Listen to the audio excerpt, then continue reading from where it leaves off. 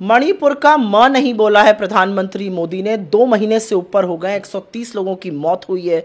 हज़ारों लोग विस्थापित हैं। सैकड़ों, करोड़ों की प्रॉपर्टी जलकर स्वाहा हो चुकी है। प्रधानमंत्री ने ट्वीट कर कर हमारी फुटबॉल टीम को शुभकामनाएँ दी। उनको याद दिलाना चाहती हूँ, उस फुटबॉल टीम में तीन खिलाड़ी मणिपुर के हैं और वो आपसे न्याय की, शांति की अपील की उम्मीद कर रहे हैं। मणिपुर पर प्रधानमंत्री को बोलना चाहिए। और अगर कोई जाना चाहता है सौहार्द में उनके साथ खड़े रहने के लिए उसकी अच्छी बात है। मैम महाराष्ट्र और इधर शरद पवार ने दोनों आज शक्ति प्रदर्शन किया। आ, दोनों दावे कर रहे हैं पार्टी के होने पर। लेकिन बतौर कांग्रेस पार्टी के प्रवक्ता लगातार ये आप लोगों का आरोप लगता रहा है कि छोटी छोटी पार्टियों को खत्म करने की कोशिश की जा रही है। आप देख रहे हैं अब इसको? मुझे लगता है भाजपा के घटक दलों ने जो 19 घटक दलों ने भाजपा को छोड़ा वो भाजपा की शातिर अंदाज को समझ चुकी थी। उनको समझ में आ गया था कि भाजपा सबसे पहले अपने घटक दलों को खाती है। और इसीलिए उनके सबसे पुराने घटक दल, चाहे वो जदयू हो, चाहे वो शिवसेना हो, चाहे वो शिरोमणि अकाली दल जैसी पार्टीज़ हो, उनको, उन्होंने उनको तिलांजलि दे दी। आज भाजपा क्या कर रही है? बड़ी डबल इंजन की सरकार चल रही थी, अब वो ट्रिपल इंजन की बन गई है। डबल इंजन की सरकारों का नतीजा तो हमने मध्य प्रदेश से देखकर मणिपुर तक देख लिया। मणिपुर जल रहा है। मध्य प्रदेश में आदिवासियों के ऊपर भाजपा के नेता पेशाब कर रहे हैं। ये असलियत है भाजपा की डबल इंजन की। अब ट्रिपल इंजन लग के कहा जाएगा पता नहीं, लेकिन ये इंजन यात्रियों को गंतव्य पे पहुँचाने के लिए नहीं है। ये अपने सुख, सत्ता की लोलुपता और एजेंसियों के डर से बने हुए इंजन है और ये तबाही का कारण है। मैम तरफ़ से और ये अब कहा जा रहा है कि बुलडोजर की भी कार्रवाई उनके घर पर की गई है।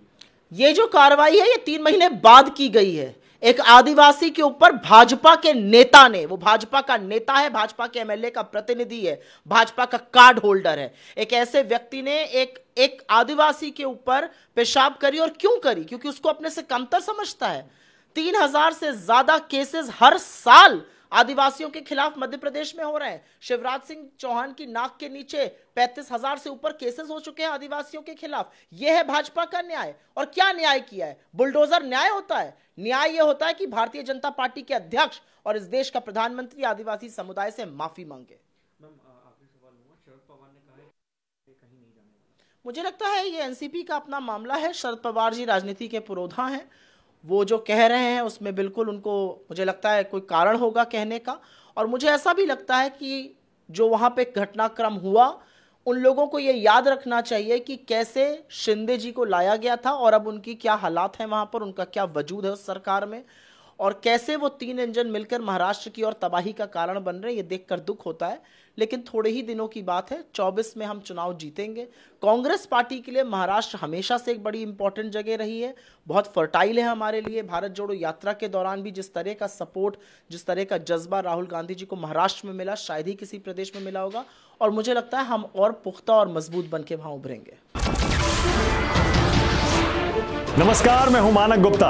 अगर आपको हमारा ये वीडियो पसंद आया हो तो इसे लाइक और शेयर ज़रूर करें। और हाँ हमें सब्सक्राइब और फॉलो करना ना भूलें, ताकि आप देश और दुनिया की कोई खबर मिस ना करें। तो जुड़े रहिए हमारे साथ और देखते रहिए न्यूज़ 24